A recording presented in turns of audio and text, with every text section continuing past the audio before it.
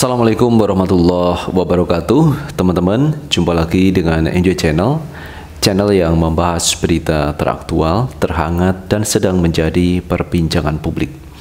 Sahabat Enjoy Channel, kali ini yang akan kita bahas mengenai Pak Anies Baswedan Yang kemarin menonton acara di sirkuit Mandalika MotoGP 2022 di Mandalika Nah kalau kita lihat kemarin di Mandalika cukup meriah, banyak penontonnya juga teman-teman, termasuk kehadiran Pak Anies Baswedan.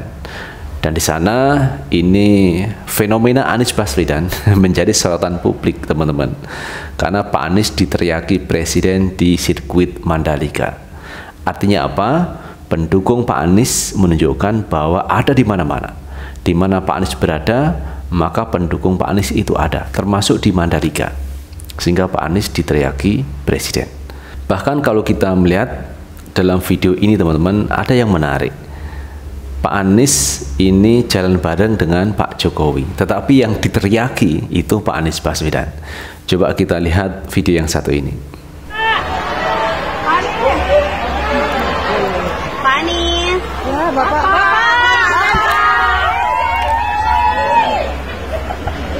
Nah, itu teman-teman satu video yang cukup menarik. Yang ngajak siapa, yang diajak siapa, yang diteriaki siapa. Ternyata Pak Anies Baswedan yang diteriaki oleh para fan atau pendukungnya, teman-teman. Paling tidak ini menunjukkan bahwa Pak Anies ini memang salah satu tokoh yang menjadi sorotan dan para pendukungnya ada di mana-mana. Nah, teman-teman, kita akan melihat fenomena lagi Pak Anies ini di Mandalika. Kalau kemarin kita lihat tidak hanya Pak Anies sebenarnya yang menjadi sorotan, ada juga pawang hujan teman-teman di sana. Jadi ketika hujan selama dua jam di Mandalika itu ada seorang pawang Mbak Rara. Ini ngetuk-ngetuk semacam mangkok kuningan diketuk-ketuk supaya uh, hujan itu reda. Ya mungkin benar teman-teman, hujan itu reda karena mungkin sudah waktunya reda. Coba di awal-awal ini ada ritual terkait uh, bagaimana menolak hujan. Bisa tidak pada hari Minggu itu tidak hujan di Mandalika?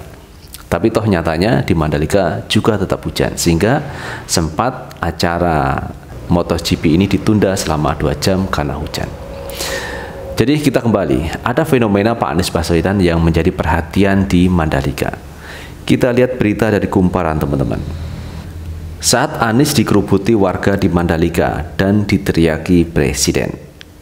Gubernur DKI Jakarta Anies Baswedan menjadi salah satu pejabat yang ikut menonton MotoGP Mandalika, Lombok, NTB, Minggu 20 Maret. Anies duduk di kursi tribun penonton bersama dengan warga lainnya. Jadi Pak Anies berbaur dengan warga lain yang menonton di sirkuit Mandalika. Berbagai momen Anis di Mandalika dibagikan lewat Instastory di akun Instagram pribadinya @anisbaswedan. Anis sudah mendapatkan sambutan dari warga yang juga menonton sejak masuk di area sirkuit Mandalika. Mereka menyapa dari kejauhan. Mantan Mendikbud itu lalu duduk di kursi tribun penonton. Di sana Anis menyapa sejumlah warga yang duduk tak jauh dari tempatnya menonton. Warga juga tampak antusias meminta foto bersama dengan Anies.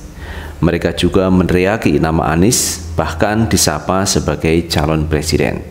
Pak Anies calon presiden, ujar warga dilihat dari Instastory Anies Senin 21 Maret. Tak sampai di situ, usai balap, Anies tak henti-hentinya diserbu warga yang ingin berfoto bersamanya. Anies hanya bisa jalan lambat, baru beberapa langkah sudah berhenti untuk berfoto. Pak Anies presidenku, ujar sejumlah warga lain.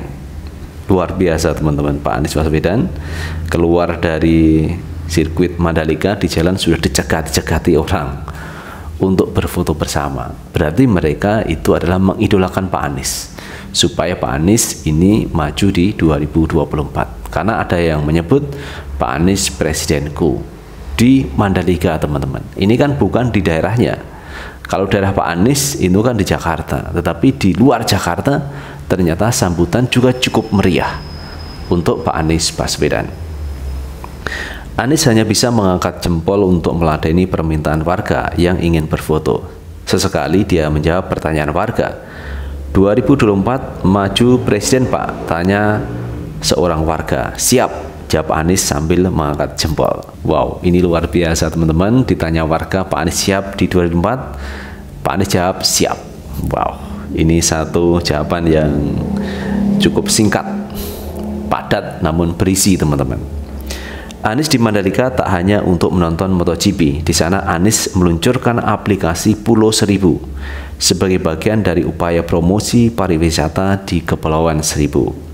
Kabupaten Kepulauan Seribu juga membuka stand khusus di kawasan sirkuit Mandalika. Anies juga sempat berkunjung ke sana. Nah, itu teman-teman fenomena Pak Anies Baswedan di Mandalika.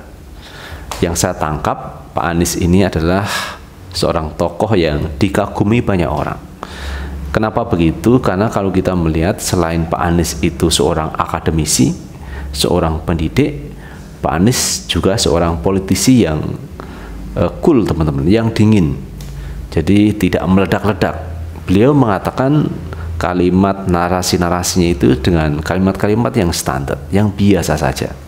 Beliau penampilannya cool, sejuk, tenang, tidak meledak-ledak, tidak emosional, tidak arogan. Karena ada dulu seorang calon presiden yang gebrak-gebrak meja sampai mikrofonnya itu terpental, teman-teman. Ini kan terlalu overacting, terlalu apa ya? Terlalu kasar menurut saya komunikasi politik seperti itu. Beda dengan Pak Anies Baswedan, dia cool, tidak suka marah-marah, tidak mudah teriak-teriak jadi kalau kita melihat pemimpin kita itu memang macam-macam teman-teman sifat dan karakternya. Tetapi memang semua itu punya pendukung masing-masing. Termasuk ada Pak Prabowo, Pak Ganjar, Pak siapa lagi Ridwan Kamil, Pak Anies Baswedan sendiri, semua punya pendukung masing-masing. Nah, kita melihatnya pemimpin itu adalah pemimpin yang eh, selain cool dingin juga punya keperpihakan kepada rakyat, kepada masyarakat seorang pemimpin yang hadir di tengah-tengah masyarakat, seorang pemimpin yang bisa memberikan solusi terkait persoalan di masyarakat, seperti kasus minyak goreng, minyak goreng mahal, minyak goreng langka. Ini diperlukan sebenarnya seorang pemimpin yang bisa memberikan solusi. Bagaimana memecahkan solusi seperti ini? Kalau kita kemarin baca apa yang disampaikan oleh Rahmat Kobel, sebenarnya ini bukan terkait dengan mafia minyak bukan terkait dengan mafia minyak. Wajar kalau seorang pedagang itu misalkan uh, mengumpulkan minyak dalam jumlah yang agak banyak karena dia akan menjualnya dengan harga yang lebih tinggi. Saya pikir ini wajar teman-teman. Bukan masalah mafia atau tidak mafia, tetapi kalau menurut Rahmat Gopel adalah terkait regulasi saja. Bagaimana cara mengatur sistem jual beli saja. Jadi itu teman-teman yang kalau kita melihat fenomena yang terjadi saat ini, maka diperlukan menurut saya seorang pemimpin yang punya keperpihakan kepada rakyat, seorang pemimpin yang tegas, seorang pemimpin yang bijak terkait masalah-masalah seperti minyak goreng. Itu teman-teman yang bisa kita bahas kali ini terkait fenomena Pak Anies Baswedan diteriaki calon presidenku, presiden 2024 dan ketika ditanya apakah Pak Anies siap untuk maju di 2004, Pak Anies menjawab siap.